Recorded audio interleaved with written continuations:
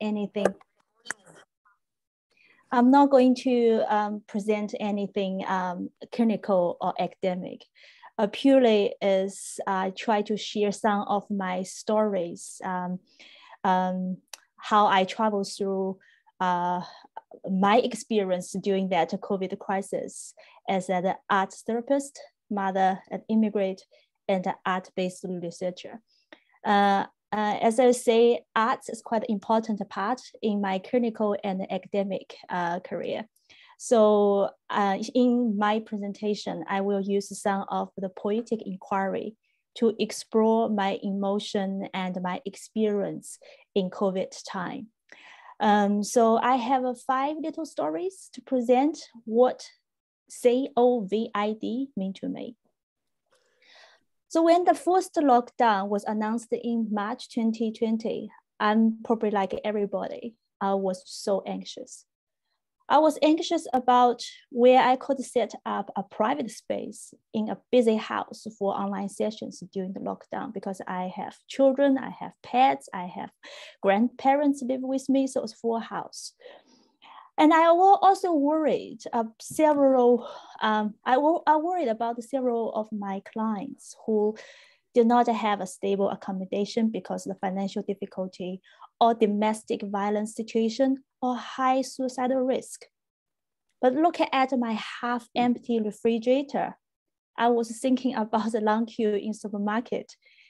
Um, but I also I worried about how some of my clients could afford to stock up the food supplies because they only rely heavily on their benefit um, and payments and they did not have saving. So entering this certain COVID uh, crisis, I was overwhelmed by my multi identities. So in, in, all, in order to be ready for this certain crisis, I not only need to create a support plan for my children, for my clients, but also a support self-care plan for myself. I cannot be a supportive or calm mother or therapist with a worried or anxious mind. So I try to create a space, a safe space for myself first. In my garden, I have an art making studio I have decorated this little uh, garden room with many Chinese elements. By the way, I'm originally come from China, but moved to New Zealand about 20 years. But as you know, uh, as immigrant, um, whatever how long you live your home, but home elements so important for us. So in this little uh, uh, garden room, I have so many elements from my hometown. Some of them I bought from my homeland, but some of them I found and modified in my adopted land. So I have my lotus painting on the wall and the corner of shelf is full of Chinese philosophy books. A little sculpture was from my friends and the tea table, if you can see in the middle, made by my husband and with the tea set also from him. So this is a physical in-between space I created for the sense of home. Setting up this room was my attempt to find an emotional balance in the homemaking process through using physical elements to connect my root culture. So in this space, I felt the calmness and the safety. In my garden tea house, I felt the impulse and the desire to share my physical homemaking space and to share this sense of kindness and uh, safetyness with my children and clients. Therefore, I decided to set up an online session space inside this tea house. I tried several locations for my desk in order to get the camera, the computer camera facing the most relaxing view to my tea house. So I left my meditation cushion in the room and open the blinds to let the sunshine in. I let my Chinese elements like objects, gifts, and books and tea table. I lived in that space. I made sure through that uh, computer camera view, my clients could see my painting of lotus which is the supportive symbol um, metaphor for myself. When I sit in front of my work desk, I feel the strings support my back from all these objects. So I created a physical in-between space between my personal life, my professional life, between my private space and the shared therapy space, and between my root Chinese culture and adopt culture, which I share with my clients. The homemaking process is not only for myself to feel comfortable as immigrant. By sharing my in-between physical space, I enlarge and intend um, enlarge my sense of emotional belonging and emotional balance as an immigrant therapist to my community. I invited my children to the tea house and the home session room. I introduced each element to them and explained its significance from my culture, the strengths and growth. I encouraged them to redecorate their room with all elements which comfort them in order to create their own space, the calm and safe space for their homeschooling time. I worked with my children and my husband to create a study work family timetable in order to provide our uh, private and restful time together as a team. During my first online session in my tea house with a client, she sang a song with me. As I listened to her voice, I felt something through my body. After the session, as usual, I started my own creative ref reflection as a way to debrief this session. I write a poem to document the embodied sensation I felt when I was listening her song. I am her tree to provide the rest spot. Under my shade, she is singing. I hear her calming and soft voice from her hurting heart with her hope and determination. Her voice is warm and confident, like sunshine behind the dark clouds, trying to penetrate the darkness and hit the top of the tree. I am that tree. Hearing her calming and soft voice, feeling the warmth through my body and heart, dancing with my soul and mind, singing along with her comforting voice, swimming with her heart melting tune on this cloudy day. I am a tree, needing this warmth and comfort to grow and to mature, to be able to stand strongly for my people passing by providing the cover and the rest spot in the unexpected storming, um, storming rain. Through the tree metaphor, I saw the needs inside self as a mother and a therapist for creating calmness, safety, and the support. I sense the need from my children for my protection in this crisis. I recognize my role in supporting my clients in this challenging time. I also identify how my clients support me to be balanced in the rain and the wind to find the harmony within my heart and soul. I empower my clients through arts, but at the same time, they give me the power and strength through their creativity and company. With them, I feel that I was not isolated in this lockdown. Throughout this ongoing um, COVID crisis. I protect my children and clients, but at the same time, they comfort and support me as well. So my second story is really about my research journey during this COVID time. So during my PhD study, my research was interrupted by the forced lockdown I could not go to university's uh, workspace to immerse myself in writing up my thesis. I could not continue my study plan and the data collection. I could not to see my supervisors face to face for meetings. And I even not in the mood to focus on my research because my half empty refrigerator was my main focus. I needed to go to that overcrowded supermarket to get enough food supplies for the lockdown. I went to a supermarket with my DIY mask because I could not uh, find any surgical masks in shops at that time. The supermarket was so crowded. Everyone was busy shopping or waiting silently in the long queue. Then a Pakeha lady near me started staring at me with unfriendly gaze.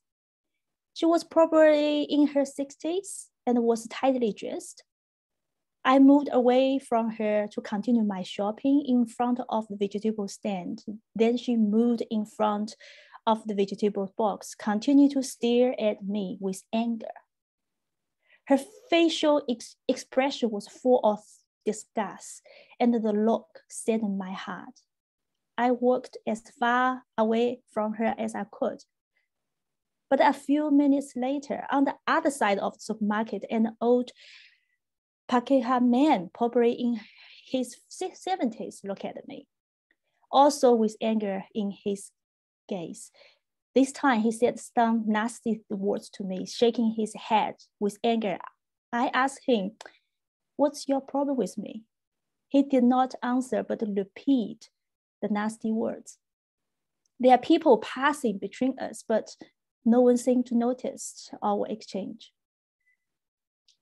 I finished my shopping as quickly as I could and tried to run away from that unpleasant moment I had just encountered.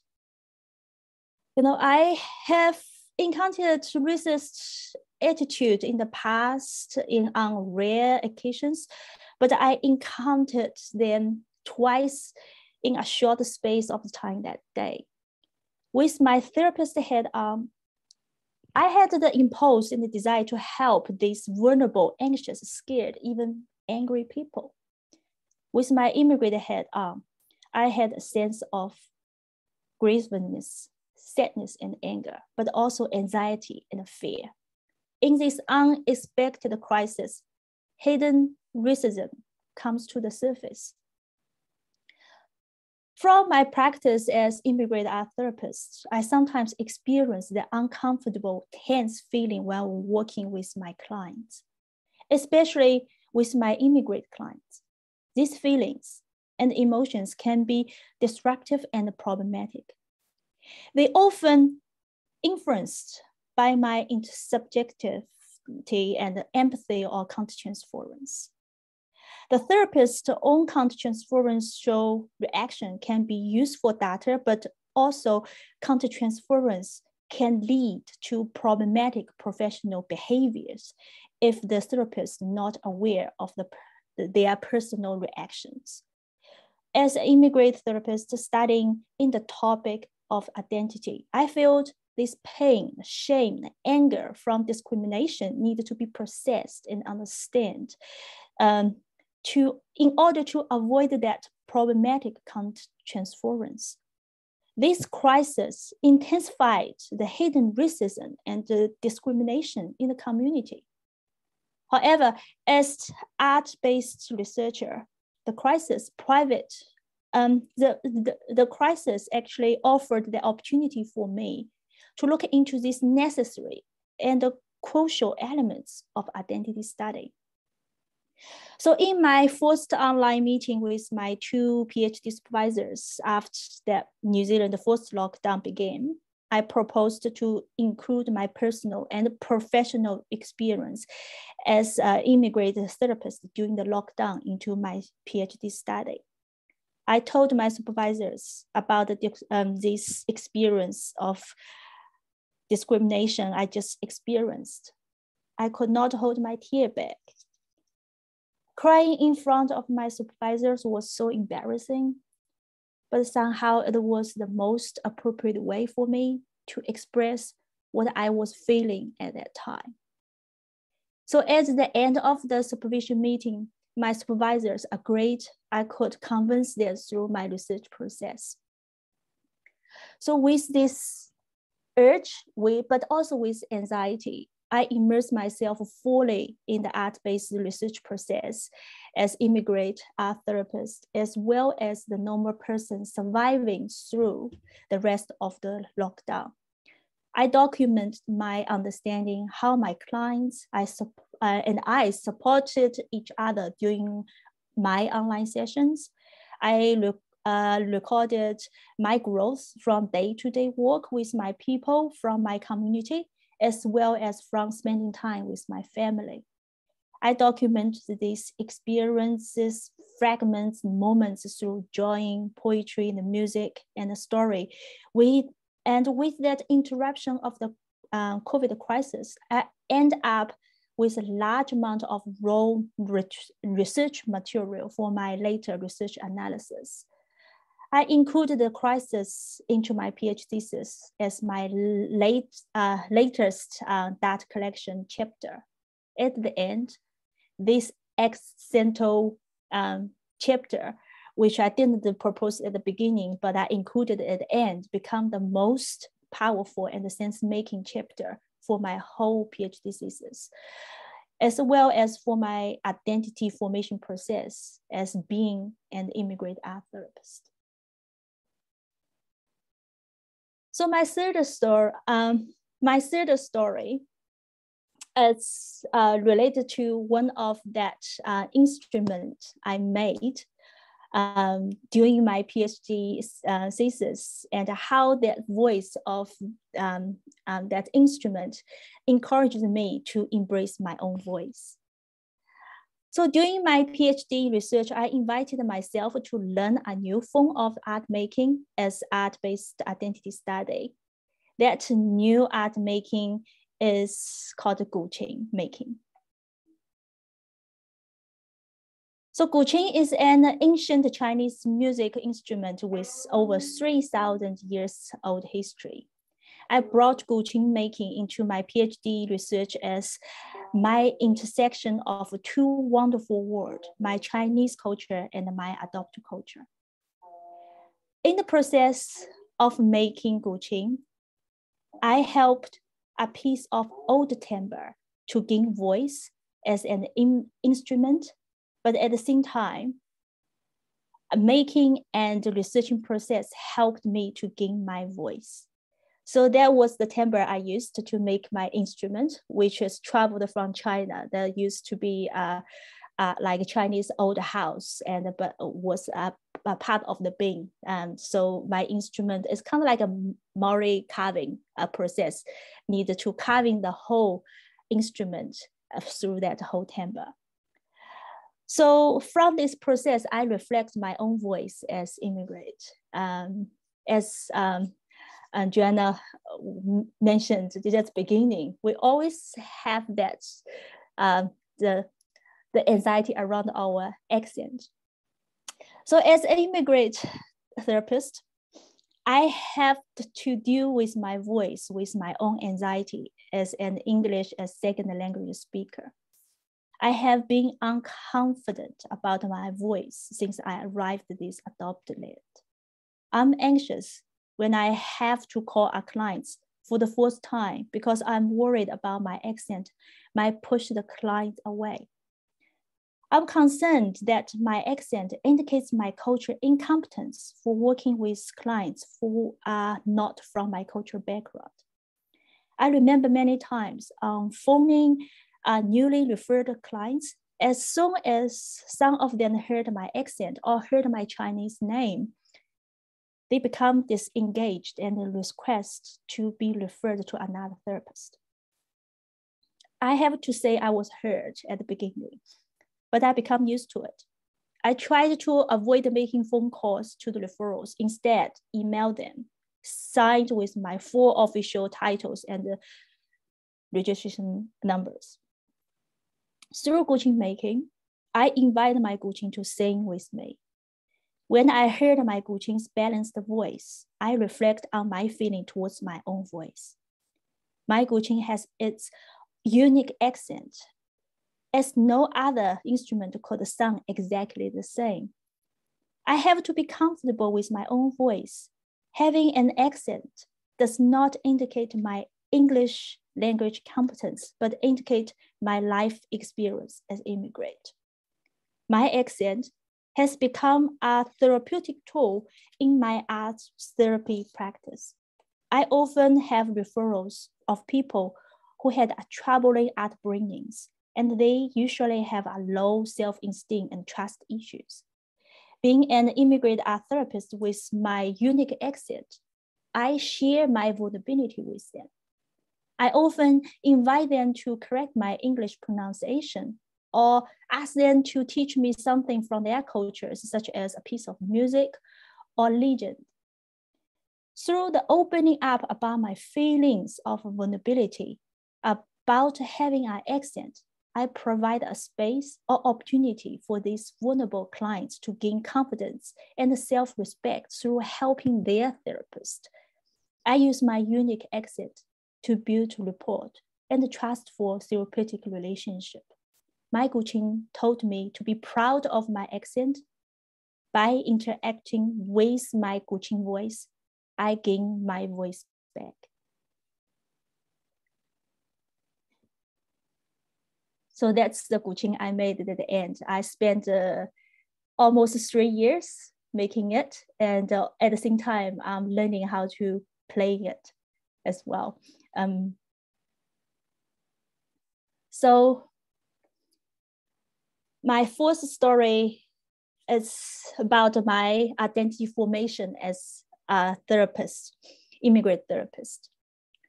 With a newly set up session room in my tea house, I have had a few online sessions with my clients. In these sessions, many of them shared their uh, anxieties about their lockdown. There are people with couple relationship issues, who now needed to confine themselves together with, um, you know, with their um, uh, issues and tensions during the lockdown. They were people with anxiety and depression issues, and some of them had risk of suicidal ideation. Then I thought about an old lady I saw during my last grocery shopping she was moving very slowly with her walking frame with a pile of grocery on the frame. She could not manage a shopping trolley while using her walking frame. Thinking these vulnerable people from my practice and my community, I feel sad. My mind is full of my worries, as well as the desire to do something for these vulnerable people. I was unsettled for a whole day of the last 24 hours before the first lockdown. I remember a specialist health reporter from the local newspaper, New Zealand Herald. I read some of her articles in the past. I thought about contact her to share from my therapeutic, um, my therapy knowledge about how to look after self through the lockdown. But my mind was full of self-doubt and pain from the past displacement traumas. Who are you? You're not the top expert in the field, and no one would be interested to know you. Just like the old times, you will always be invisible in this adopted land. I am a therapist. With compassion, empathy, and aroha in my heart, I want to offer my voice with all these from my heart to care and support my people, my people in this adopted land. Who are you? You even can't speak in perfect English accent, and someone might laugh at you just like the old times. You will always be suppressed in this adopted land. I am an immigrant with trauma, pain, but also courage in my heart. I want to offer my voice with all these from my heart to show and to make a loud statement to people in this adopted land. Who are you? With naive and immature speech, your voice is worthless and pointless, just like the old times. Your voice would be you would, would be heard by no one. I am an immigrant therapist with an immature voice, with my accent and insecurity, but it's my voice from my heart. It might be worthless and pointless to some, but it will be a milestone to me. Through this poetic exploration, I let the new me to comfort the old me with the embodied strings from my art-based research journey. After writing the poetry, I was brave enough to contact the reporter. Well, writing my letter to the reporter, I thought about the unfriendly gaze and the nasty words from the supermarket visit. I thought about the old lady's slow progress with her pile of grocery on her working forms. I thought about my clients' anxieties and worries. Through that poetic exploration, our tension and the conflicts I experienced as an immigrant, as well as a therapist, come to the surface. This imbalanced and suppressed elements in the formation of my identity has reached the crucial turning point where my identity development needed to change from one mode to another for transformation and growth. The COVID crisis becomes the activating agent for me to reach the critical turning point of my identity formation process as an immigrant art therapist. About 12 hours before New Zealand goes to forced lockdown, I was reading my published commentary piece. All my point opinions were there without much editing. I reading this piece carefully as I was just a reader from the public. I tried to, to imagine the old man who told me the nasty words was reading this. The old lady with the working frame was reading this. My clients were reading this. I was emotional when I read the last sentence I provided in that article. We can go through another great social trauma together by caring for each, for ourselves and each other. My mature voice make me finally truly believe I'm part of we of New Zealand. At the moment when I see my voice published in the mainstream media as a professional opinion piece, I believe I'm strong, brave, knowledgeable, and compassionate enough to care for myself and the we of all New Zealand as a New Zealand Chinese therapist. I'm going to share the last really little story to end my presentation. More than two years from the first lockdown in New Zealand, we're still battling with the COVID crisis. And my identity formation process as immigrant art therapist is ongoing.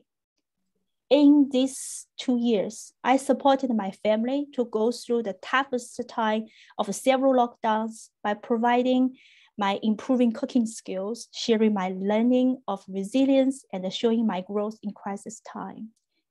In these two years, I supported my clients in their most needed time to accompany their loneliness and to listen to their struggles, to seek the happiness in their everyday lives, and to look for hopes. With that, I continue learning from my family, my children, and my clients. I worked with a Maori cultural background clients through the near three years COVID time. As she was pregnant with her new baby, she concerns the risk from COVID for her and for her new baby. I have been working with these clients through all this lockdown online. We worked together almost every week. When the time was close to her due date, her anxiety about having birth in the COVID time became more and more unbearable in one session. A few days before her due date, I shared a Maori song I just heard from YouTube, the song called Tarina. This song was sang by a Korean immigrant couple in Maori language. In our session, in the virtual art uh, therapy space, we listened to the song together.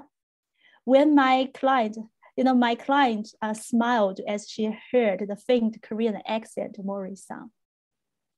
In the session of the following week, I attended the session on our agreed time. When I asked how was everything going for her, she turned her camera to her side. With my surprise in her screen, I saw a beautiful sleeping baby's peaceful face. I felt speechless with the full joy in my heart. Then my client told me Her new baby arrived when she was playing the song, Terena. I was shared with her. She said in that moment, she felt I was with her spiritually. I could not hold my tear back anymore. With my tearful eyes, I looked into the screen with proud, with hope, with a sense of belonging to this land, and with my aroha. Sometimes, when I'm stressed by my work or frustrated about the situation which I'm unable to change for my clients, I have doubt. I, why I wanted to be an immigrant therapist. In that moment, when I was looking at the baby's peaceful face, I suddenly found the answer. I am an immigrant art therapist, art-based researcher.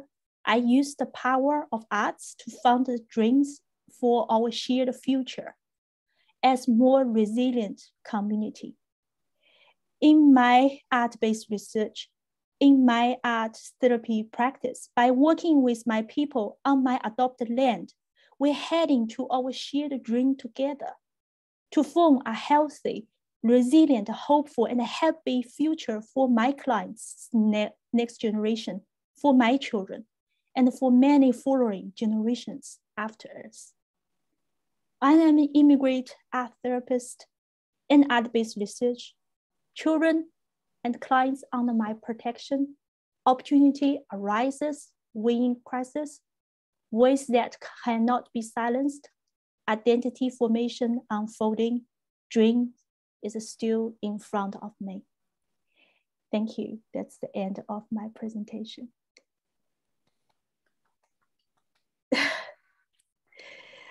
Can you stop sharing your presentation? Yes, I can. Ah, beautiful, beautiful, Sorry, Ingrid. Sorry, I, I, went a bit too long. oh no, no, it's uh, so beautiful. It's a healing for me. Oh, thank you for that. Uh, um, I think I was... um, yes, yes, me too.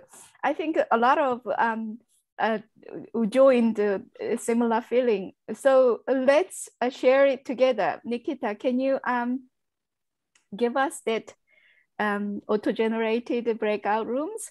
The, this uh, um, uh, be mindful around what you're sharing and and and it's a, it's like a sharing enough that you protect yourself as well as protect others and when you're sharing um, can you let um, nikita will uh, write the questions of this is a purely whakawhanaungatanga time so that um, we will have a few uh, about four five in that within the group and we share about the, your journey uh, within the COVID and um, your name and uh, where you're from. And um, yeah, she, she will uh, write the questions properly than me. um, I look forward to uh, hearing that feedback session. So uh, time is 10:17. Uh, um, we will come back by 35, 10:35. Is that okay? all. Thank you. Look forward to hearing from you guys. Let's make a room. Thank you, Nikita. Thank you, Ingrid. Beautiful. Thank you. Beautiful.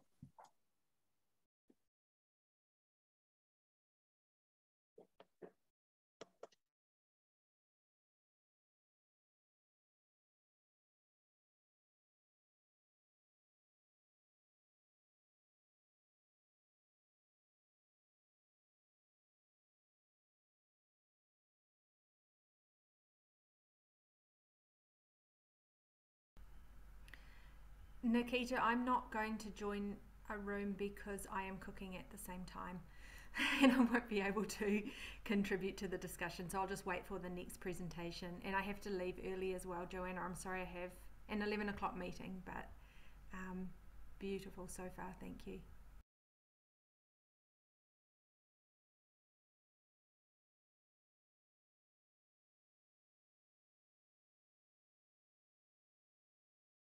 Oh, sorry, I'm muted. Uh, thank you, Bex. Can you let me in um, Bex space? Yes, one moment. Thank you.